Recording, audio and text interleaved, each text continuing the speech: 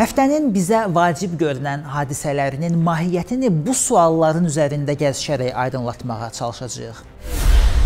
Zəngəzur dəhlizinin cənub qolu nə deməkdir və niyə məhz indi açılır? Qlobal səhnədə gözlənilən yeni qaydalar regionda hansı dəyişikliklərə gətirib çıxaracaq? Hazırki müharibədən qalib çıxan tərəf kim olacaq və bu artıq özünü nədə göstərir? Həftənin ən vacib hadisələrindən biri sözsüz ki, Şərqi Zəngəzur iqtisadi rayonu ilə Naxçıvan Muxtar Respublikasının arasında yeni kommunikasiya bağlantılarının yaradılması haqqında Azərbaycan-İran anlaşma memorandumunun imzalanması idi. Sadə dildə sənədin mənası o deməkdir ki, İran ərazisindən Zəngəzur dəhlizinə paralel zolaq açılır.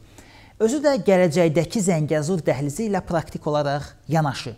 Bu Zəngəzur dəhlizinə eyni vaxtda həm alternativ deyil, həm də müəyyən mənada alternativdir. Çünki sadəcə yol olmaqdan daha artıq bir layihədir və sənədin məhz indi imzalanması da xüsusi əhəmiyyətə malikdir. Niyə belə düşündüyümüzü izah eləyəcəyik, amma əvvəlcə gəlin sənəddə nələrin nəzərdə tutulduğunu bir də xatırlayaq. Azərbaycanın Şərqi Zəngəzur iqtisadi rayonunu Naxçıvan Muxtar Respublikası ilə birləşdirmək üçün Araz çayının üzərində ikisi avtomobil və ikisi dəmir yolu olmaqla 4 körpü tikiləcək.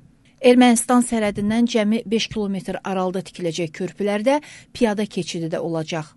Dəhlizdən gündə 500 ədəd giriş və 500 ədəd çıxış olmaqla azı 1000 ədəd yük nəqliyyatının keçməsini təmin edən buraxılış məntəqəsi yaradılacaq. Bundan başqa, Şərqi Zəngəzurla Naxçıvan arasında rabitə və enerji xətlərinin çəkilməsi üçün də uyğun infrastruktur qurulacaq. Şərqi Zəngəzur tərəfdə bu işləri Azərbaycan, Ordubad tərəfdə isə İran görəcək.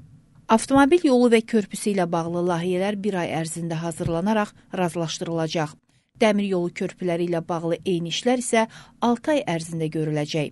Körpülərin tikintisi başa çatana qədər tərəflər digər zəruri tikinti işlərini həyata keçirəcəklər.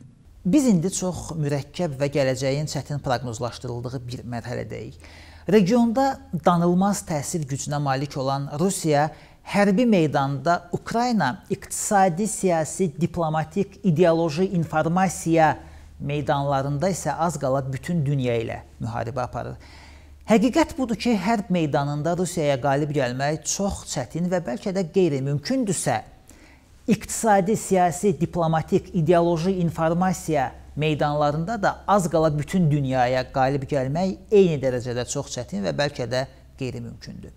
Ona görə də indi sualı müharibə nə ilə qutaracaq yox, müharibə nə ilə qurtarmayacaq şəklində qoymaq daha məntiqlidir. Buna cavab vermək nisbətən asandır. Bir mənalı olan budur ki, müharibə heç kimin qələbəsi ilə qurtarmayacaq. Yəni nə Rusiyanın, nə Ukraynanın, nə Avropa Birliyinin, nə də hətta Amerikanın. O Amerikanın ki, son 2 dünya müharibəsinin əsas qalibi məhz o olub və dünya hegemonluğunu da bunun sayəsində qazanıb. Bütün müharibələr son nəticədə böyük dövlətlərin yeni bazarlar əldə etməsi uğrunda aparılır. Sənaye inqilabı başlayandan bu yana tarix bax bu cür inkişaf eləyir. Bütün imperiyalara, böyük dövlətlərə yeni ərazilər ilk növbədə bazar kimi lazımdılar. İngiltərə 170 il əvvəl dağ boyda Çini ona görə diz üstə qoymuşdu ki, rahatca öz tiryəyini sata bilsin. Yaponiyanı həmçinin, Hindistanı həmçinin öz mahudunu satsın deyə. Amerika ona görə müasir qlobal imperiyadır ki, bütün dünyaya Big Mac, kola və iPhone satır. Sözün qısası, müharibələr həmişə yeni bazar qazanmaq uğrunda aparılır və bir dövlət əgər onun sonunda ən böyük, nəhəng real bazarını itirirsə, bu qələbə əlaməti deyil. Əlbəttə qalib olacaq, amma belə görünür ki, o tamam başqa bir qüvvədir. Qərbin tətbiq etdiyi sanksiyaların təsiri ilə Rusiyada maliyyə sabitliyi getdikcə daha çox pozulur, inflyasiya və bahalaşma sürətlənir, istehsal çökməyə başlayıb, ölkənin investisiya reytinqləri pillə-pillə aşağı salınır. Bu gedişlə Rusiyanın defolt elan edilməsinə də bir şey qalmayıb. Ancaq sanksiyaların bumeranq effektinin olduğunu nəzərə alsaq, sual çıxır. Bu, Qərb üçün pir qələbəsi olmayacaqmı? Yada salaq ki, 2008-2009-cu illərdəki qlobal iqtisadi böhran da Qərbin Rusiya ilə geo-iqtisadi mübarizəsi nəticəsində ortaya çıxmışdı. Belə ki, neftin qiymətinin süni şəkildə kəskin ucuzlaşdırılması Amerika Birləşmiş Ştatlarının maliyyə sferasına dəymiş, nəticədə ipoteka bazarında başlayan alov bütün dünyanı bürümüşdü. Azərbaycanda manatın devalvasiyası və problemli kreditlər də elə bunun nəticəsi idi. Təcrübə göstərir ki, bütün belə böhranlar yeni güclü oyunçuların təşəbbüsü ələ alması ilə nəticələnir. Ən yaxşı misal 1973-cü ildə Ərəb-İsrail müharibəsi zamanı Ərəb dövlətləri koalisiyasının qərbə neft satışına embargo qoymalarıdır. Bu addım yanacaq böhranına gətirib çıxardığından Amerikada avtomobil istehsalı çökmüş, Yaponiya maşınları bazarda liderliyi ələ almışdı. Hazırda Amerika Birləşmiş Ştatları və tərəfdaşları Rusiya kimi nəhəng bazarı itirirlər. Çin isə əksinə bir tərəfdən praktik olaraq rəqabətsiz, bomboş, nəhəng bazar qazanır. Eyni zamanda Qərbin imtina etdiyi Rusiya neft və qazını ucuz qiymətə almaq şansı əldə edir. Ucuz enerji və rəqabətsiz nəhəng bazar səma imperiyası üçün elə bir fürsətdir ki, heç bir qüvvə onun sıçrayışının qabağını ala bilməz. Yəni, hazırki vəziyyət bütünlükdə və birbaşa Çinin iqtisadi xeyrinə işləyir. Özü də Bu, bahalı enerji və itirilmiş bazarın təsiri ilə qlobal istehsalın getdikcə dərinləşən tənəzzülünün fonunda baş verir. Ona görə artıq demək olar ki, bu müharibədə qazanan tərəf Çin olacaq. Qaydaq söhbətin əvvəlinə dünya belə bir mürəkkəb dövrə başlayarkən bizim bölgədə nə baş verir? Regionun gələcək sabitliyində iştirak etməli olan əsas dövlətlərdən biri Rusiyadır. O Üç üstə gəl 3. Regional kommunikasiyaların açılması, Azərbaycan-Ermənistan sərhədlərinin müəyyənləşdirilməsi kimi proseslərdə aparıcı rol oynayırdı, yaxud oynamalı idi. İndi isə Rusiya elə bir mürəkkəb vəziyyətlə özləşib ki, nə az, nə çox dünyanın iqtisadi düzəninin dəyişməsinə səbəb olacaq. Təkcə iqtisadi də yox. Yaxın illərdə təhlükəsizliyinə qarşı bütün növ təhdidlərlə mübarizə aparacaq Rusiya üçün Güney Qafqazdakı layihələr əhəmiyyət cədvəlində aşağı sıralara da sürüşə bilərlər. Belə bir vəziyyətdə sözsüz ki, Rusiyanı ilk satan ermənilər olacaq. Paşinyanın martın 10-da Fransaya baş tutmuş səfəri bu baxımdan çox düşündürücü idi. Ermənilər artıq indidən fikirləşirlər ki, Rusiyanın regionda təsiri zəifləyən kimi onu kiminləsə əvəz etsinlər və bu rolda ən böyük hamiləri olan Fransanı görürlər. Son günlərdə Ermənistan hər vasitə ilə dünyanın diqqətini Qarabağa çəkməyə çalışır. Rus sülh məramlarının müvəqqəti nəzarətində olan ərazilərdəki erməni silahları məqsədli şəkildə atəşkəsi pozurlar.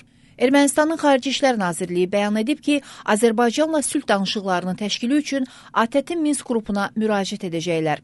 Bu bəyanata pişmiş toyuğun gülməyi gəlir. Hazırda Rusiya, Amerika Birləşmiş Ştatları və Fransa praktik olaraq diplomatik münasibətləri kəsiblərsə, Onların toplaşıb Qarabağı müzakirə edəcəklərini düşünmək üçün nə qədər optimist olmaq lazımdır? Maraqlıdır ki, bu yaxınlarda Azərbaycan prezidenti İlham Əliyevə göndərdiyi məktubda Emmanuel Macron bəyan etmişdi ki, Fransa ATƏT-in Minsk qrupunun həmsədri kimi regionda sülh üçün səyləri dəstəkləmək öhdəliyinə sadiqdir. Paşinyanın Fransa səfəri zamanı da tərəflər Minsk qrupunun fəaliyyətinin bərpasına çağırıblar. Bu fonda Fransanın Ermənistandakı səfiri Anluyonun dedikləri maraq doğurur. O bildirib ki, ölkəsi ATƏT-in Minsk qrupunun həmsədri kimi Dağlıq Qarabağ münaqişəsinin həlli istiqamətində səylərini davam etdirməyə arzusundadır. Yəni bir yazırıq, üç yadda. İrəvanla Paris çalışırlar ki, adını Minsk qrupu da qoysalar, əslində Fransa Qarabağ məsələsində vasitəçilik etsin. İstisna deyil ki, Avropa Parlamentinin Dağlıq Qarabağda erməni mədəni irsinin məhv edilməsi haqqında qurama qətnaməsinin də məqsədi məhz bu idi. Azərbaycana təzyiq göstərərək ermənilərlə danışıqlara sövq etmək. Əslində Azərbaycan danışıqlara nəinki hazırdır, hətta özü neçə vaxtdır bunu tələb edir. Sadəcə baxır hansı formatda və nəyi müzakirə edəcəyik. Xarici İşlər naziri Ceyhun Bayramov bildirib ki, Ermənistana danışıqlar üçün 5 maddəlik təkliflər paketi göndərilib və cavab gözləyirik. Yəqin məhz həmin təkliflərin ətrafında danışmamaq üçün Ermənistan öz diplomatik oyununu qurmağa, Minsk qrupunu xortlatmağa çalışır. Amma oyun meydanı getdikcə daralmaqdadır. Amma bizi başqa sual düşündürür. Ermənistan kimin qucağına girirsə girsin, bu onun və hazırda onu qucağında saxlayanın problemidir. Zaten ermənilər kiminsə qucağına girmədən müstəqil yaşamağa qadir deyillər. İstəyir ayının qucağında olsun, istəyir xoruzun. Əsas odur, sərhədlər müəyyənləşsin, sülh müqaviləsi imzalansın, münaqişənin nöqtəsi formal olaraq da tam qoyulsun. Bunun üçün ermənilərə real və ciddi təsir vasitəsi olmalıdır. Məsələn, Laçın dəhlizi kimi. Biz bir növ dəhlizə dəhliz, Laçın dəhlizi əvəzinə Zəngəzur dəhlizi şərti centlmen sövdələşməsinə girmişdik. Yada salaq, Azərbaycan prezidenti açıqlamalarının birində bununla bağlı nə demişdi? Zəngəzur dəhlizinin hüquqi rejiminə gəlincə, o Laçın dəhlizinin eynisi olmalıdır. Çünki üçtərəfli bəyanatda açıq-aydın deyilir ki, Azərbaycan Qarabağla Ermənistan arasında əlaqə üçün təhlükəsizliyi və maneəsiz çıxışı təmin edir və Ermənistan Azərbaycanla Naxçıvan Muxtar Respublikası arasında əlaqələr üçün eyni maneəsiz çıxış və təhlükəsizliyi təmin etməlidir. Beləliklə bu gün Laçın dəhlizində gömrük yoxdur. Ona görə də Zəngəzur dəhlizində də gömrük olmamalıdır. Əgər Ermənistan yük və insanlara nəzarət etmək üçün öz gömrük qurumlarından istifadədə israr etsə, onda biz Laçın dəhlizində eynisini israr edəcəyik. Bu məntiqidir və qərar Ermənistan tərəfindən qəbul edilməlidir. Biz hər iki varianta hazırıq, ya hər ikisində heç bir gömrüyün olmaması, ya da hər ikisində hər iki gömrüyün olması. Bu günə qədər Ermənistan Zəngəzur dəhlizi mövzusunda açıq və bir mənalı mesaj verməyib. Orda ictimai fikir bunun əleyhinədir, siyasətçilər də ictimai fikrə oynayırlar. İndi isə Azərbaycan həmin o Zəngəzur dəhlizindən 5-10 kilometr aralıda çox güclü bir nəqliyyat arteriyası yaradır. Zəngəzur dəhlizi Arazın bu tayında olacaqdı. İndi yaradılan xətt o biri tayında olacaq. Vəssalam. Bununla da Naxçıvan Türkiyəyə və üzə o tərəfə Avropaya nəqliyyatın axını başlayacaq. Qərbin Rusiyanı təcrid etməsi həm də Avropadan Çinə gedən nəqliyyat dəhlizlərinin bloka düşməsi deməkdir. Belə bir məqamda Zəngəzur dəhlizinin İran qolunun açılması o deməkdir ki, həmin yüklərin böyük qismi Türkiyədən və İran vasitəsilə Azərbaycandan keçəcək.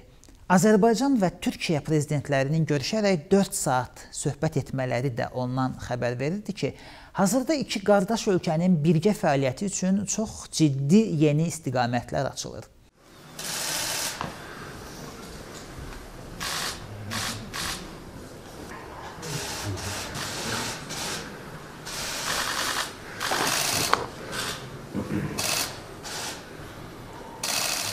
Elə bir vəziyyət yaranır ki, Zəngəzur dəhlizi bundan sonra bizim üçün daha çox mənəvi anlam kəsb etməyə başlayacaq.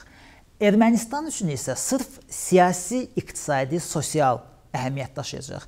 Çünki Zəngəzur dəhlizi olmayacaqsa, Ermənistan Güney Qafqazdakı digər kommunikasiya imkanlarından da məhrum qalacaq. Söhbət ermənilərin Azərbaycan ərazisindən keçərək Rusiyaya, Naxçıvan vasitəsilə İrana getmələri haqqındadır. Azərbaycan əgər Zəngəzur dəhlizi hələ ki açılmadan da hədəflərinə çatırsa, Ermənistan əksinə dalana çevrilir. Yada salaq, bununla bağlı da vaxtilə Azərbaycanın dövlət başçısı nə demişdi? Ermənistan 20 ildir ki, şimal-cənub nəqliyyat dəhlizi üzərində işləyir. Ortalıqda da bir şey yox. Nə şimal-cənub dəhlizi ola bilər? Oradan o dağlardan, o Mehri dağlarından dəmir yol çəkmək olar. Adam gərək dəli olsun ki, ora pul qoysun. Bir neçə milyar. Ödə yaxşı tuta ki, kimsə bu pulu verdi. Sonra hara gedəcək? Ermənistan, sən dalansan. Biz səni dalan elədik. Halbuki dalandan çıxmaq üçün Ermənistana şans verilmişdi axı. İndi belə alınır ki, dalan olmamaq üçün Zəngəzur dəhlizinə Ermənistanın daha çox ehtiyacı var və bu dəfə özləri minnətçi düşməlidirlər. Elə şərtlər təklif etməlidirlər ki, Azərbaycan İrandan keçən dəhlizlə yanaşı Zəngəzur dəhlizində də maraqlı olsun. Amma hətta bu olsa belə yenə də təsir imkanları Azərbaycanın əlində qalacaq. Çünki Zəngəzurdan keçən yolun alternativi olacaq. Laçından keçən yolun isə yox. Bütün bunları nəzərə alanda İranla anlaşmanın nə qədər böyük önəm daşıdığı aydın olur. Ermənistan düşünməyinə davam etsin, amma biz praktik işimizi yapmaqda da davam edirik. Bu günləri İranla Azərbaycan arasında bir anlaşma imzalanacaqdır. Bu anlaşmaya görə e, bizim Zəngilanda Ağbənd köyündən Araz üzərindən iki köprü, bu quru yolu, e, otoyolu və demir yolları e, üzərindən İrana keçid və İrandan tranzit olaraq keçərək Naxçıvana, oradan Türkiyəyə. Yəni biz Avrasiya qitəsində artıq yeni bir koridorun əsasını qoymuş oluruq ki, burada Türkiyə, İran, Azərbaycan yenidən birləşmiş olur olurlar. Yeni bir haddin əsasını qoymuş oluruq. Ona görə bütün sürələrdə yenə qeyd etdiyimiz kimi bir qardaşlıq və müttəfiqlik prinsipləri əsasında ortaq iş birliklərimiz davam edir. İndi isə məsələnin başqa tərəfinə nəzər yetirək. İran nə əcəb buna razılıq verdi. Axı İran həmişə Ermənistanın Azərbaycanla mübahisədə əlinin güclü olmasına çalışıb, təcriddə qalmaması üçün ermənilərə dəstəyini heç vaxt əsirgəməyib. Hətta Tehranla İrəvan Ermənistandan keçərək şimala yönələn dəhlizin haqqında ciddi danışıqlar da aparırdılar. Paşinyan yuxusunda darı görərək Ermənistanın nəqliyyat qovşağına çevrilməsi haqqında xəyal plov dəmləyirdi. İndi isə tam əksinə Ermənistanı dalana çevirəcək və Azərbaycanla gələcək danışıqlarda arqument sarıdan tərk silah edəcək bir layihəyə imza atır. Və bunu o dövlət eləyir ki, Ermənistanla dost olmaqdan əlavə, cəmisi yarım il əvvəl Azərbaycanla sərhəddə çoxmənalı hərbi təlimlər keçirildi.